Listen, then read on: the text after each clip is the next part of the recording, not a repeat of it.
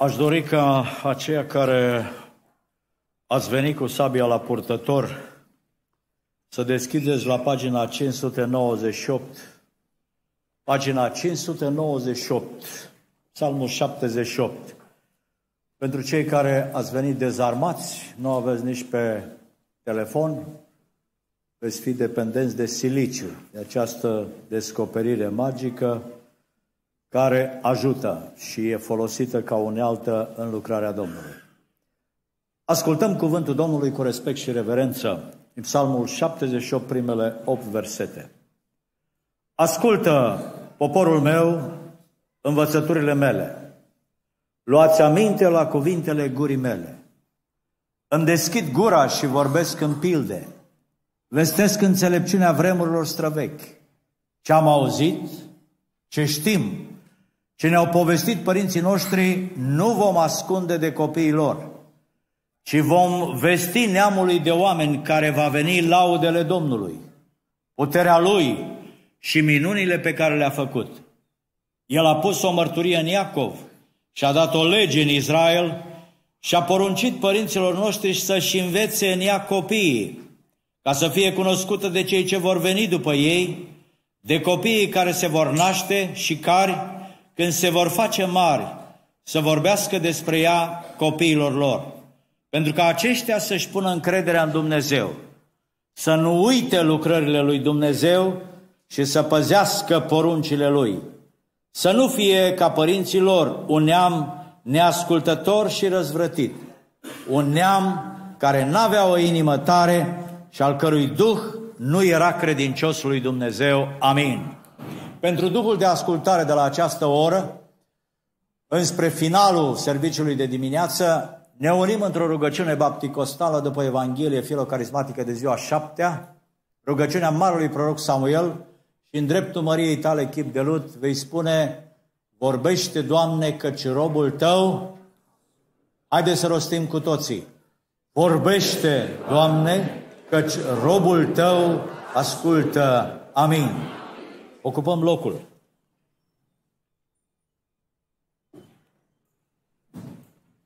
Iubiți frați și surori, stimați sfinți și sfinte din Biserica Soro Elim, sunt uh, mâine, poimine, aproape 40 de ani de când colaborarea mea cu sfinții care se adună în biserica locală a făcut ca în acești 40 de ani, împreună, din staule care sunt apropiate și care fac parte din marea familie a Împărăției lui Dumnezeu, să putem să contribuim pentru cetatea în care ne-a așezat pentru o vreme Dumnezeu, la lărgirea Împărăției lui Dumnezeu. Slăvit să fie numele Lui. De aceea, niciodată, fie că au fost uh, servicii funebre, fie că au fost nunți, fie că au fost evangelizări, fie că au fost marșul învierii, fie că au fost nopți de priveghi.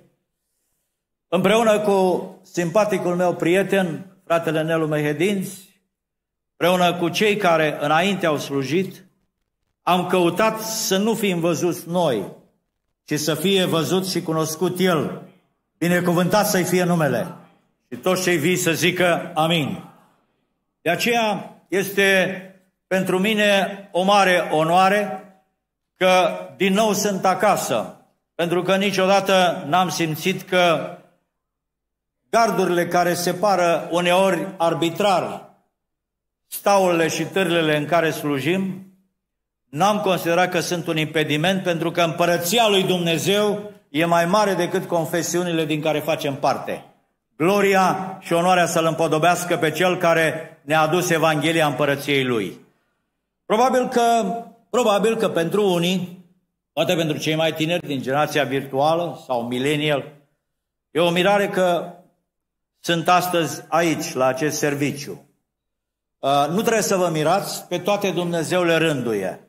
El e în control și așa cum spunea marele reformator Martin Luther, controversat în anumite domenii și cu care nu, nu sunt de acord în anumite uh, uh, învățături sau anumite spuse de ale lui, ca să nu mai zic de manifestări, spunea cam așa, să lăsăm biserica pe mâna Domnului Isus Hristos. Și noi să fim doar măgărușii care duc poverile. Adică să avem mentalitatea de slujitori. Sunt aici, în primul și în primul rând, pentru că e ziua Domnului și un bun creștin practicant, nu la fără frecvență, se găsește întotdeauna în casa lui Dumnezeu la închinare.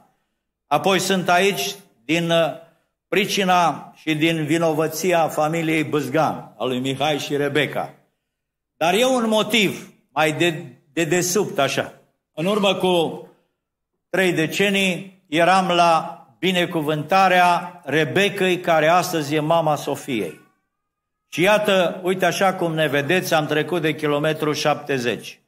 Domnul să binecuvinteze toate familiile și toți copiii, nu numai de la Elim, ci toți copiii și copilașii Domnului. Amin. Pentru că Sofia și celelalte prințese, pentru că sunt fii și fiice de împărați, nu prea pot înțelege, aș vrea să mă adresez părinților. În dimineața aceasta, în timpul care mi-a fost pus cu atâta generozitate de distinși mei colegi, aș vrea să vă vorbesc despre mandatul de părinte în familia creștină. Când e vorba de mandat, sigur că acum ne este foarte familial, familial și familiar, familial din pricina nației și familiar pentru că sunt alegeri. Și pentru o vreme va trebui ca fiecare, prin votul nostru în democrație, să dăm mandat fie aleșilor locali, cărora le-am dat deja, fie celor din uh, Parlament, fie președintele. Numai că mandatele lor sunt limitate, dragii mei mandatele politicienilor, mandatele regilor, chiar dacă unii, precum regina Elisabeta, a avut o domnie lungă de mai bine de 70 de ani, sunt limitate. Atenție însă ceea ce vreau să spun. Mandatul de părinte este nelimitat cu reverberații veșnice. Cine are urechi de auzit, să audă ce spune cuvântul Domnului. De aceea, misiunea cea mai importantă pentru părinții creștini. Și eu mă refer la părinții creștini practicanți, născuți din nou, botezați sau uh, umpluți cu Duhul Sfânt, termenul baptiză în greacă e același și are cele două conotații.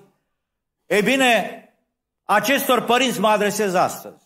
Într-o vreme când, iată, se dau atacuri în acest început de secol 21 la trei entități sacre. Divinitatea Domnului Isus este atacată din toate direcțiile. Biserica Domnului Isus Hristos este atacată pe tot mapamondul. Și trei, familia creștină. Nu familia tradițională, familia creștină, alcătuită dintre un bărbat și o femeie. Și în ultimii 20 de ani, atacul se dă la adresa copiilor.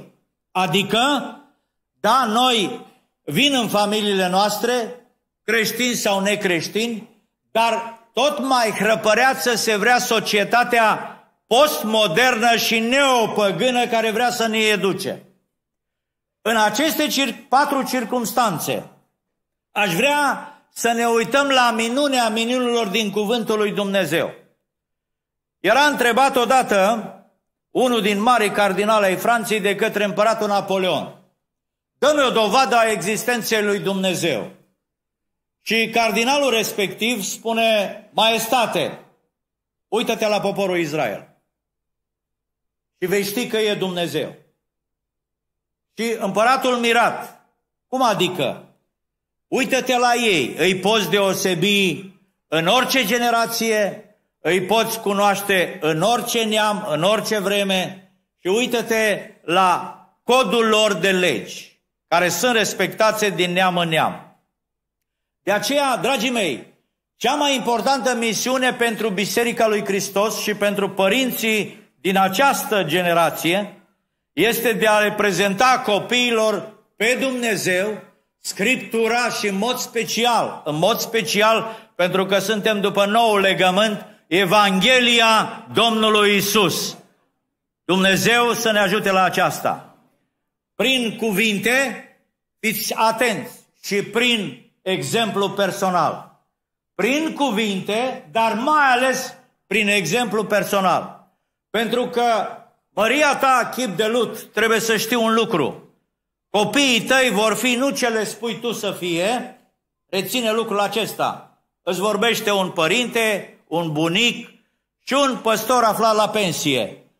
Copiii tăi vor fi ce ești tu.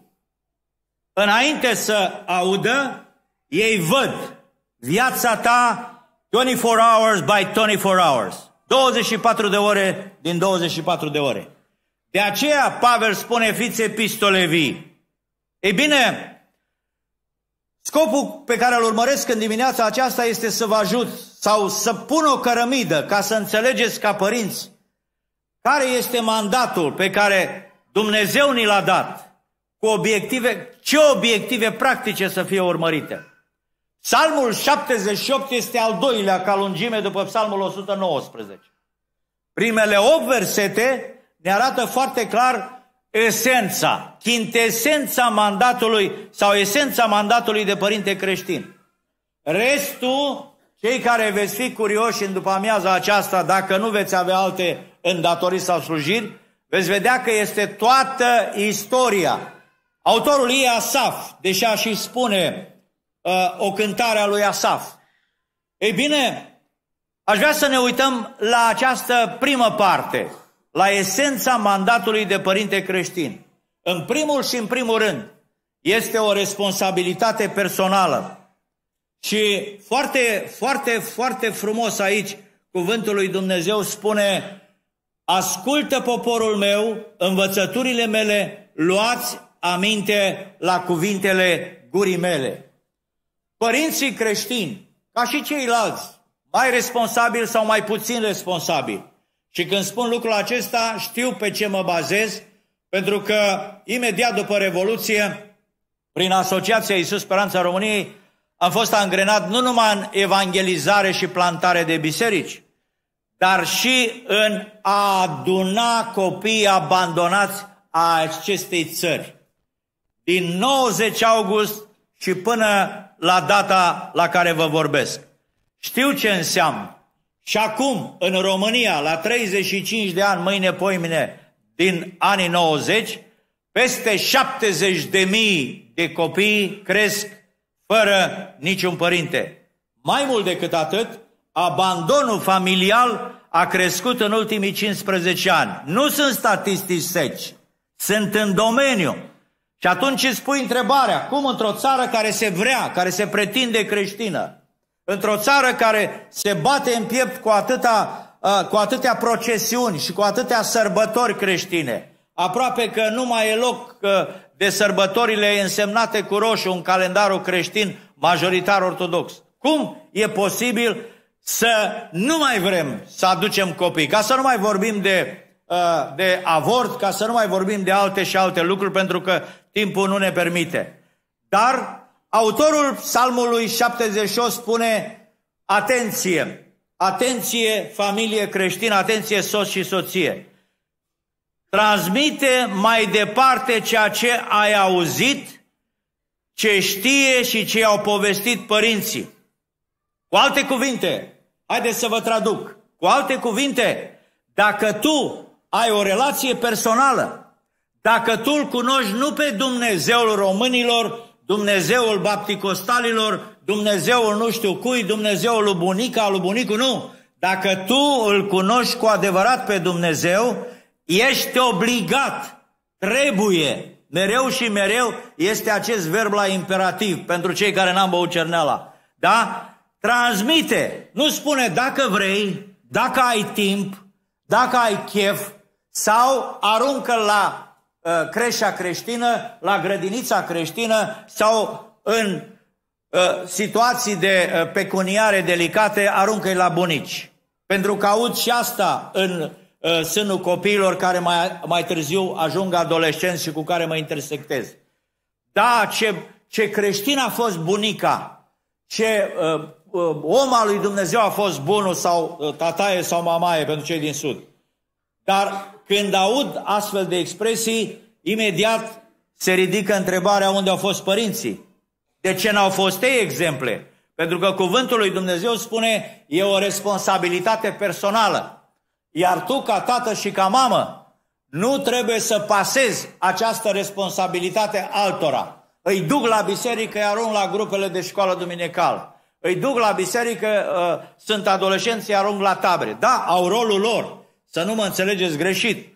Și în cadrul uh, Bisericii Maranata avem proiectul Royal Rangers, cercetașii. Da? Sunt uh, zeci și sute de copii în tabere și vara și în permanență, pe-a lungul anului. Avem peste 100 și ceva de copii. Există această superbă inițiativă a fratului Mihai a școlii de muzică și e mai mare dragul să-i vezi. Pentru că da, copiii până la șase ani sunt ca un buret. Degeaba încerci să spui tu, nu pricepe că e mic, e prea mic. Și mi-aduc aminte când mergeam pentru niște examene la Universitatea din București și făceam naveta Timișoara-București după Revoluție, că la un moment dat în gară la turnul Severin s-a urcat o mamaie, că de la Severin încolo nu e bunul și buna, până la Galați, de unde vine fratele Nelu, și până la Constanța, de unde vin eu, măritați în Banat pe aici, da? Uh, am venit pentru un an și am rămas 40. Uh, s-a urcat și abia am ajutat-o, a intrat în compartiment și lângă papornița oltenească, nepoțelul, un fel de goiță.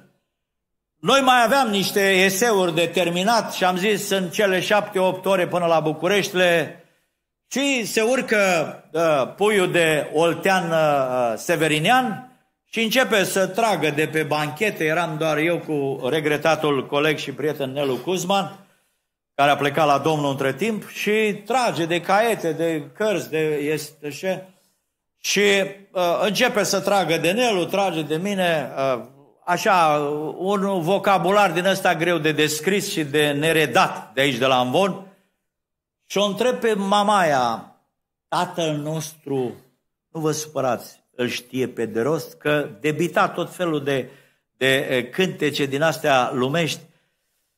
Uh, zgaiba mică, uh, la 4-5 ani, așa, un copil de ăsta cu 6 viteze turbo, terorist. Uh, dacă spuneam asta în America acum câteva luni, când am stat acolo, mă luau ăia pe sus. N-ai voie să spui la copil în niciun fel. Și mama e ca toate bunicile, dar domn părinte, barba mi era mai neagră atunci. Domn părinte, e prea mic să învețe el tatăl nostru. Nu, Proverbe 22 cu 6 spune ce? Învață, ce spune frate Mustață? Învață pe copil de mic calea Domnului pe care trebuie să o urmeze. Și când se va îmbătrâni, nu se va abate de la ea. Ei, ca să-l înveți tu, mamă și tată, fie că ai băieți, fie că ai fete, fie că ai și și, da? Pentru că, Mihai, bărbați înțelepți încep cu fete, da? Cei în, foarte înțelepți au și băieți și fete, deci nu s-a terminat la voi. Și Dumnezeu să-i binecuvinteze pe toți. De aceea, autorul psalmului spune foarte cu alte cuvinte, părintele experimentează relația lui cu Dumnezeu. Fraților, avem o sumedenie de materiale și har Domnului pentru librăria unde adesea poposesc, e adevărat rar când îmi permite timpul și când sunt în țară, unde sora Mehedinți lucrează. Și astăzi e așa o abundență de materiale cum în generația noastră n-au fost. De aceea, vedeți dumneavoastră, e foarte important ca tu să îl ajuți pe copil ca la un moment dat să aibă el relație personală cu Domnul. El poate fi un uh, baptist cum se cade. El poate fi un penticostal cu minte. El poate fi un creștin după Evanghelie la locul lui, smerit, umilit, da? Dar atenție! Scopul pe care și, uh, și, și uh, focusul pe care și targetul pe care, ținta pe care ne-a dat-o Dumnezeu este ca la un moment dat pruncii noștri să-L cunoască personal pe Domnul. Amin. Pentru că altfel ei pot să ocupe un loc în biserică în calitate de consumator de programe religioase sau, în cel mai rău caz, de mobilă, da? umblătoare și de purtători ilegal de Biblie, cum zic eu pentru unii. E foarte important să, să ne uităm la lucrul acesta. De aceea, psalmistul face apel la pildele și înțelepciunea vremurilor străvechi. Și iată când pruncii și-au luat zborul și au devenit părinți la rândul lor, pruncii mei vorbesc, dar și ceilalți, obișnuim întotdeauna prin cadourile pe care am văzut că și noastră obișnuiți să le oferiți, da? Să fie și Biblia pentru ochișor micuț, dar nu să fie să o aibă ca un talisman. Că am văzut lucrul acesta prin familiile noastre și e trist, da? O avem acolo în mașină, e bună, domnule, că uh, o avem, uh, eu știu mai unde, în sufragerie, o avem în bucătărie, da, e bună, dar nu ca talisman. Tu trebuie să știi toată istoria. Tu trebuie să știi cele 39 de cărți din Vechiul Testament și cele 27 din Noul Testament. Tu, părinte, și tu, tată, care ești chipul lui Hristos, iar tu, mamă, imaginea bisericii. Nu-i timp, asta aud peste tot în lumea aceasta pe repede înainte. Dar atenție, foarte important, vedeți ce spune? Nu vom ascunde ce am auzit, versetul 3, regia de imagine, ce știm, ce ne-au povestit părinții noștri. Nu spune ce ne-au povestit preoții, ce ne-au povestit rabinii. Pentru că noi am devenit așa de comozi, vrem să câștigăm, avem credite, vrem să avem un statut social. Nu este rău. Dar nu uita, pentru maxim 18 ani Dumnezeu ți-a dat această gămălie, acest boț de împărăție, acest chip de Dumnezeu. Dacă în primii șase ani, îți spun la modul cel mai onest, ai pierdut relația ta cu pruncul, nu se mai face. Pe vremea noastră se spunea, n-are șapte ani de acasă. Da, era un adevăr. Acum cercetările arată foarte clar. Și nu mă miră când unul din nepoții mei la șase ani vorbește cinci limbi. Da? Și nu mă miră când ei umblă pe device-uri mai bine decât noi, generația baby boomer, cei născuți de 50-60. Nu mă miră.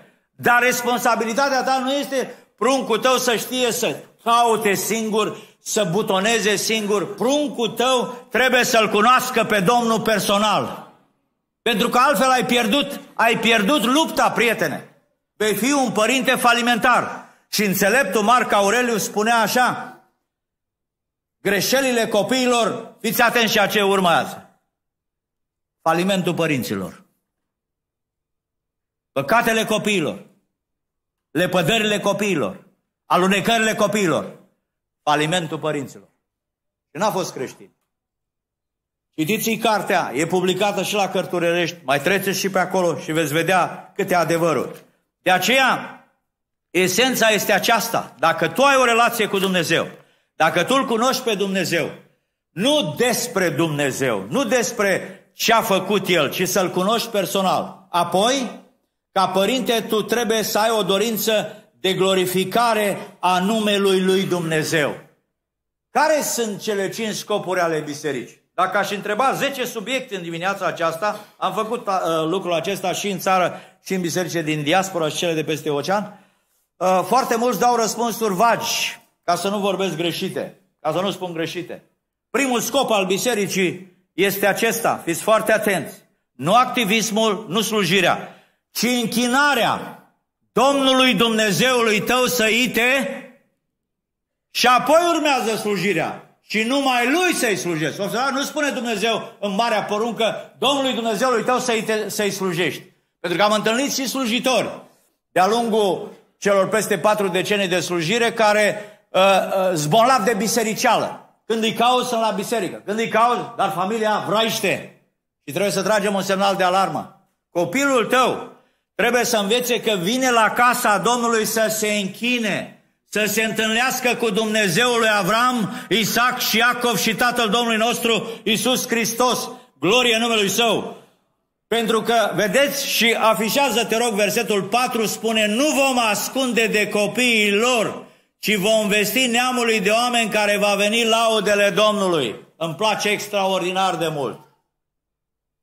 În momentul în care tu îi spui copilului tău, mergi la biserică și copilul, mă rog, mai pempăros, mai puțin pempăros, spune, a, mă simt rău, mă doare burta, copiii știu să joace și teatru, îi văd pe nepoții mei acum și la rândul copiii când erau. Da, trebuie să merg la biserică, că așa vreau eu.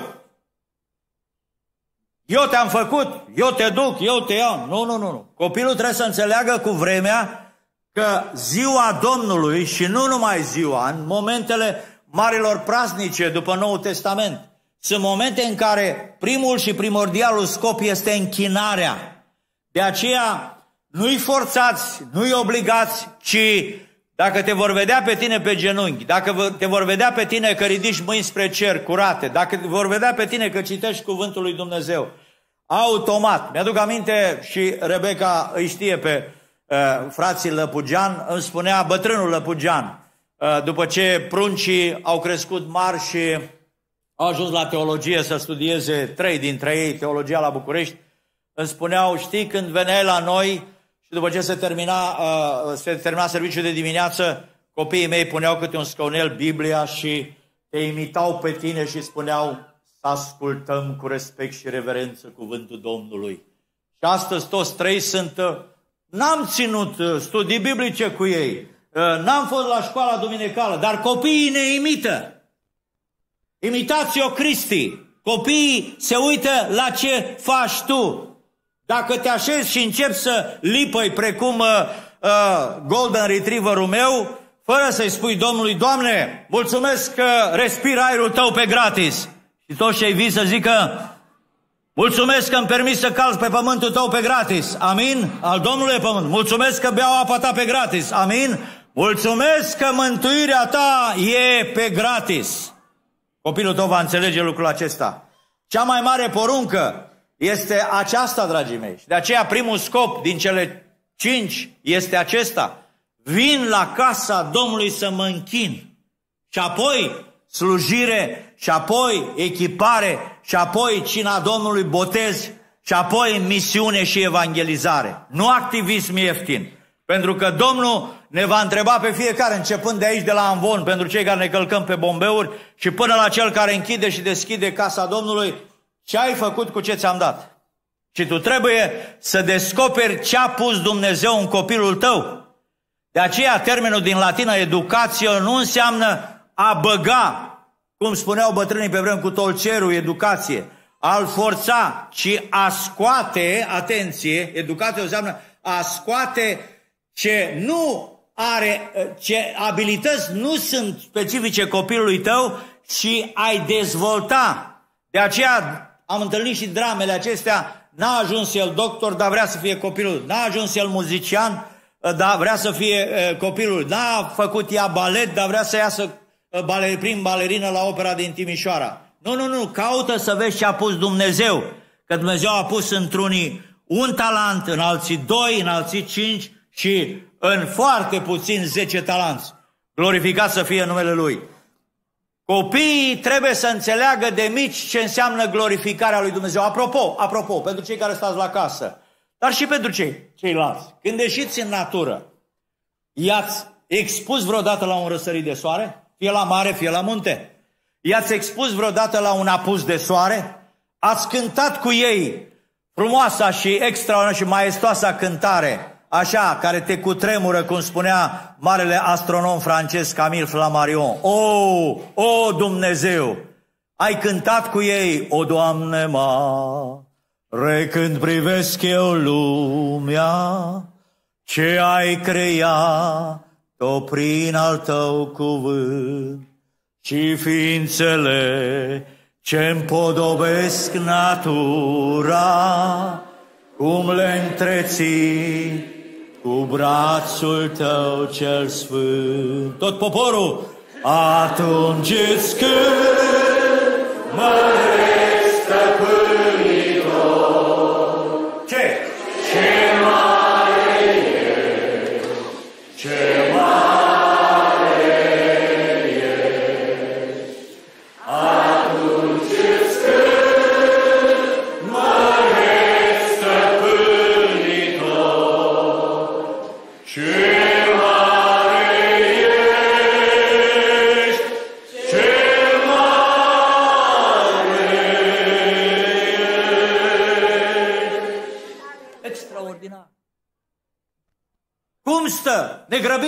selfie-uri cu un soare la apus, dar nu le spunem cine l-a așezat acolo.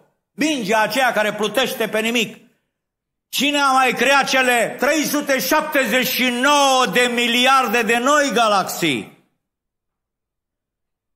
Și stau cei de la NASA și cei de la Pasadena, și cei de la Serviciul Astronomic European, stau mărmuriți și spun cum le ține într-o ordine de său. Cine este?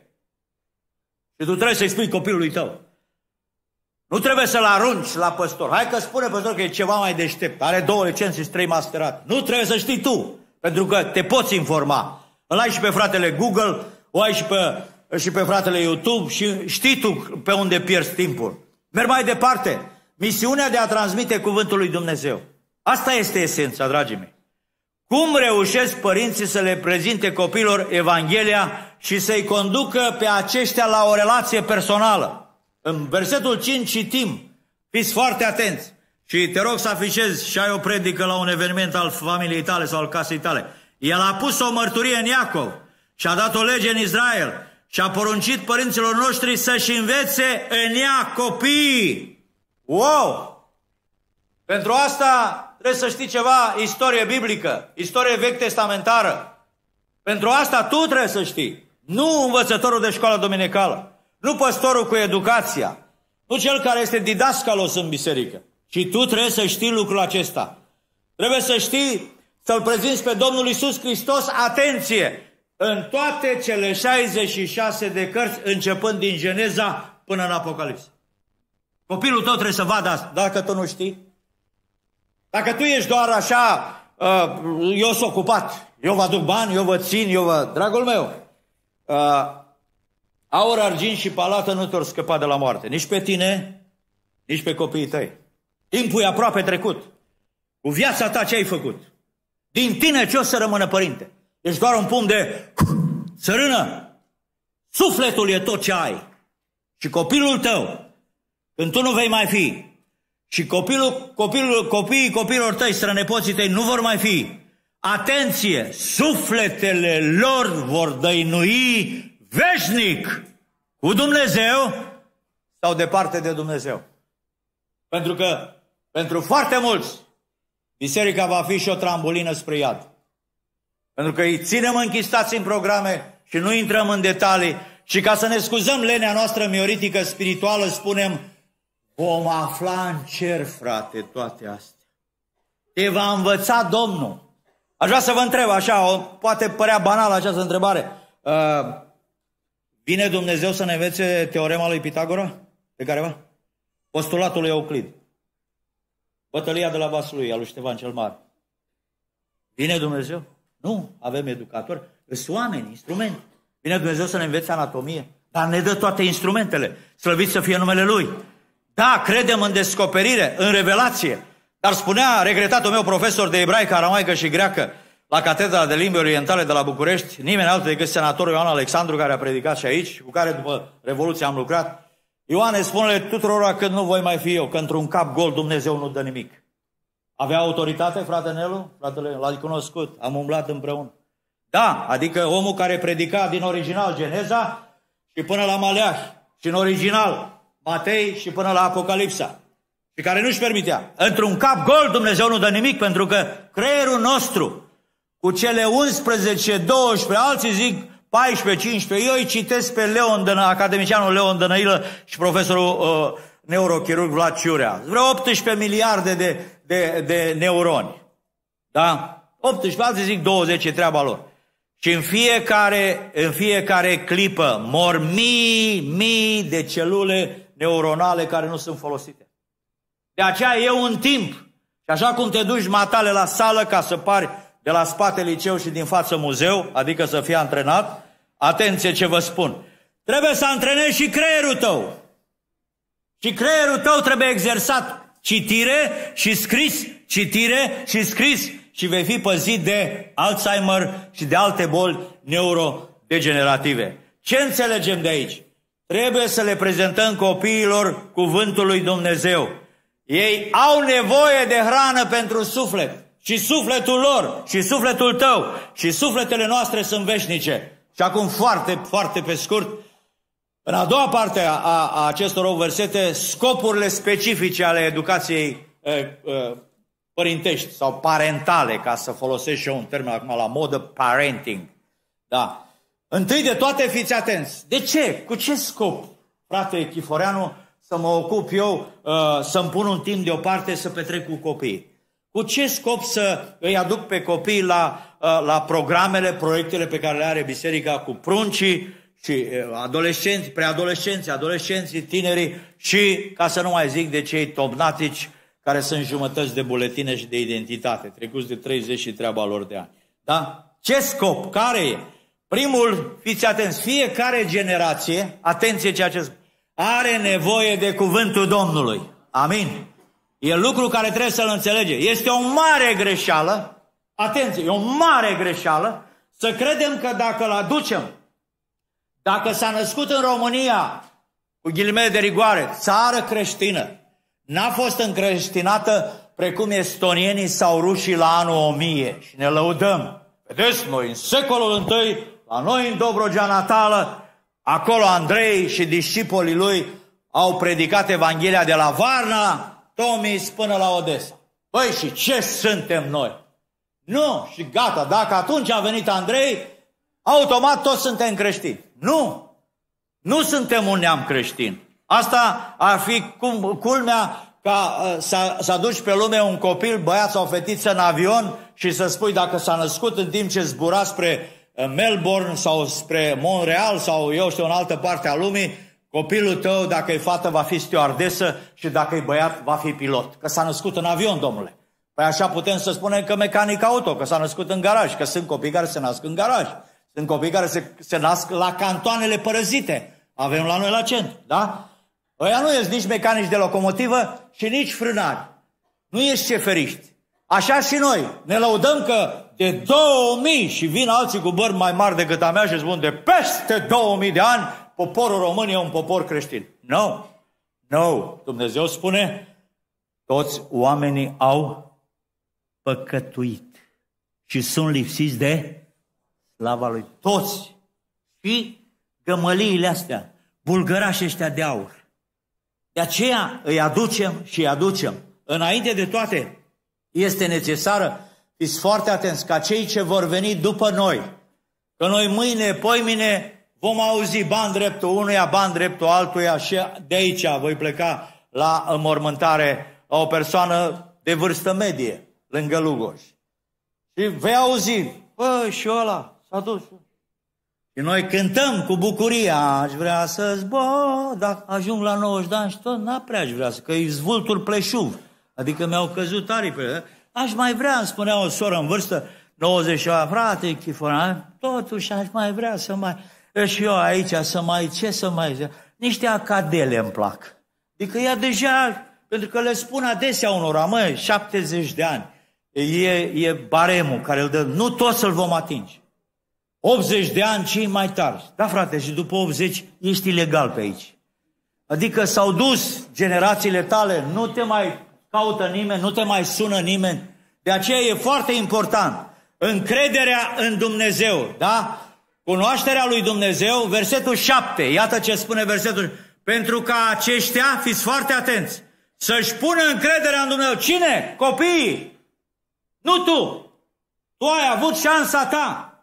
Tu ai avut generația ta, tu ai avut condițiile tale. Sigur că sunt altele. În generația mea s-a stat și la canal, s-a stat și în Irak, s-a stat și în Cuba. Cel care vă vorbește, sigur, 88-90. Arestat la DETA împreună cu Dugulescu. A plecat și el acasă. Nu facem din asta eroisme, ce am făcut noi sau nu. Pe mine mă interesează copiii mei să-L cunoască pe Domnul. Pe mine mă interesează nepoții mei să-L cunoască pe Domnul. E responsabilitatea mea. Altfel, cum zice un clasic în viață pe nume Chiforeanu, condoleanțe eterne. O să cânți, poți să strigi, poți să... Dacă copilul tău nu-L cunoaște pe Domnul, nu-i vina bisericii. Că prima dată dăm vina pe Domnul, apoi pe biserică, apoi pe păstori. Păi ce a făcut biserica? Ce au făcut păstorii? Dragii mei, un alt scop este recunoștința și ascultarea de Dumnezeu 7B. Auziți? să-și pună încredere, să nu uite lucrările lui Dumnezeu, atenție, și să păzească poruncile lui. Wow! Lucrările lui Dumnezeu nu-mi permite timpul să intru în ele. Nu-mi permite timpul. Dar copilul tău trebuie să le știe.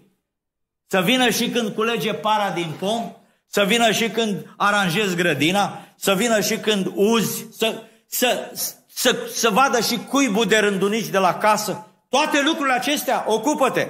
Asta făcea fratele Ioan Alexandru cu cei cinci copii. Totdeauna primăvara se ducea și îi expunea la pom. Spunea, mirosiți. Iată ce miros frumos. Știu, veți spune unii, păi domnule, ăștia cu carte multă sunt mai așa, mai cu... Eu știu. Nu, nu, nu, nu, nu. Nu. Lucrările Domnului. Creație, că e creat de Dumnezeu.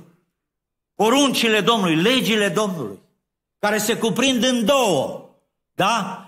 Domnului Dumnezeului tău să-i te închini și numai lui să-i slujești și să iubești pe aproapele tău ca pe tine? Îți grele, dar explică, intră în ele. Tu, părinte, nu bunicul. Da, poate și bunicul, dacă îl mai ajută discheta. Dacă nu-i ștearsă, e o problemă. Apoi, fiți foarte atenți. Prevenirea și închei, prevenirea răzvrătirii. Trăim vremurile, știu că ați auzit fraza asta, probabil, lasă Chiforeanu, că în care cuvântul spune clar, în vremurile din urmă, copiii vor fi, cum? Ziceți dumneavoastră. Obraznici. Trufași. Da, vremurile. Dar tot așa ni se spunea și nou acum. 50 de ani. 60 de ani. Dar acum, atenție ce vă spun. Tot ceea ce a dus la falimentul educației în vest, al copiilor mă refer, și al tinerilor, vine și la noi. Și vrei sau nu vrei, știți toate cazurile numai din vestul Europei, vis-a-vis de copii. Vrei, nu vrei, te vei confrunta. Ce vei face? Îl vei scoate din școală? Dacă îți permite, uh, îți permit neuronii, sigur vei face after school. Dacă mai știi ceva matematică, uh, dacă mai știi istorie, literatură, gramatică, morfologie, sintaxă, dar dacă ai fost de cinci, că lasă că Domnul se va îngriji. Domnul se va îngriji, dar trebuie să pui tu mâna la treabă, trebuie să pui creierul la lucru. E foarte important în această generație de răzvrătiți, care nu mai ascult. Uitați-vă în școlile românești. Uitați-vă nu numai în școlile românești. Uitați-vă ce se întâmplă pe plan, pe plan mondial. Părinții creștini, atenție ceea ce spun, nu pot transforma inima copiilor, dar, dar, Evanghelia pe care ei o vor inocula copiilor îi va, le va schimba inima și va face din ei copii cu o gândire nouă. Asta trebuie să ne gândim la puterea Evangheliei despre care Pavel spune în Romani, mie nu mi-e rușine de Evanghelia lui Hristos, fiindcă ea este ce? Puterea, în greacă e termenul dunamis, adică dinamita lui Dumnezeu care transformă, care sparge inimi de piatră, care demolează și inimă nouă. De aceea, concluzii rapide, așa, la scurt, ca și ceea ce ne spune Asaf aici. Părinții creștini au datoria de a le asigura copilor bunurile materiale, emoționale, spirituale și sociale. Încă o concluzie, însă cea mai mare chemare a ta ca părinte, nu uita lucrul acesta ce spune Baciu Jean, cea mai mare responsabilitate este de a învăța pe copii poruncile și cuvântul lui Dumnezeu, de a le da Evanghelia Domnului Isus Hristos, încât la o vârstă fragedă precum uh, atâtea personaje din Scriptură să aibă o relație personală cu Dumnezeu. Astfel copiii îl vor glorifica pe Dumnezeu. Nu va trebui să-i dai tu coate. Hai că a venit fratele păstor uh, ca să nu-l lovești, să-l faultezi. Uh, zi ceva, spune o poezie frumoasă. Dacă dorești să ai un impact asupra copiilor tăi, și vă spun tuturor, nu numai părinților proaspăt care sunt aici, ci și celor care sunteți de mai multă vreme, dacă dorești să ai un impact și trebuie ca tu, părinte, mamă și tată, să fii cucerit de Evanghelia Domnului. Dacă nu ești cucerit, nu vor fi nici copiii tăi. Dacă nu ești îndrăgostit de Domnul. Dar nu în sensul, fraților, fanatismului și al talibanismului, că avem România plină. Uitați-vă la toate manifestările astea care, uh, care pur și simplu te îngrozesc. Popor creștin idolatru. Popor creștin care stă de 15-16 ore ca să, uh, să atingă ceva să, și ce sunt acolo. Și le mai aducem și de peste hotar. Dumnezeu spune, Fiți sfinți, că eu sunt sfânt. Dar ne-o spune nouă celor vii, nu morților, nu moaștelor, ci nouă celor vii. Doamne, ajută-ne să înțelegem. Doamne, trezește poporul acesta. Dacă uh, stabilește un timp special cu copiii tăi, ca și concluzie, stabilește, nu mă interesează ce faci. Nu mă interesează ce profesie ai, nu știu ce, cât câștigi și ce mașină conduci. Că Dumnezeu nu te va întreba toate acestea. Te va întreba ce ai făcut cu ce ți-am dat. Și copiii sunt un dar de la Domnul. Roagă-te împreună cu copiii tăi pentru nevoile lor spirituale. Și trei întrebări rapide. Care considerați că sunt cele mai mari provocări ale generației actuale de părinți? Leacă spre casă cu aceste, cu aceste câteva întrebări sau concluzii. Și lasă cravata păstorului, greșelile de exprimare, eu știu, muzica sau și nu mai face tăieței și supă din costumul predicator sau... Nu, vă, întreabă de care, care crezi că e cea mai mare provocare? Eu știu, dar vă las pe noastră. Cum ar trebui uh, corectată răzvrătirea copiilor? Ia ziceți dumneavoastră. Cum ar trebui corectată? Ei, frate, sună la telefonul copilului și ce pot face părinții dacă au greșit în îndeplinirea mandatului lor? Mandatul tău este pentru veci de veci. E veșnic. Pentru că tu ești veșnic. Pentru că sufletul tău este veșnic. Pentru că împărăția lui Dumnezeu este veșnică. Amin. Pentru că, vedeți, nu, gata, ă, am ieșit la pensie, domn. A, eu l-am crescut, i-am dat să mă, ce vrea să facă să facă? Ce ar trebui părinții să-și asume sau să nu-și asume în ceea ce privește viața și viitorul copiilor lor. Place psalmul acesta. Super. Cât adevăr este în el. Pentru că cuvântul Domnului este veșnic. Este termenul nashab în ebraică. Adică originalul e în ceruri și noi avem copii din originalul care s-a dus să ne pregătească un loc. Încolo, Dumnezeu să ne ajute să punem la inimă cuvintele Lui. Și să o transmitem copiilor noștri. Și cei care sunteți străbunici copiilor copiilor voștri. Care la rândul lor să știe de ce îl iubesc pe Domnul. Doamne, ajută! Doamne, dă izbândă! Amin.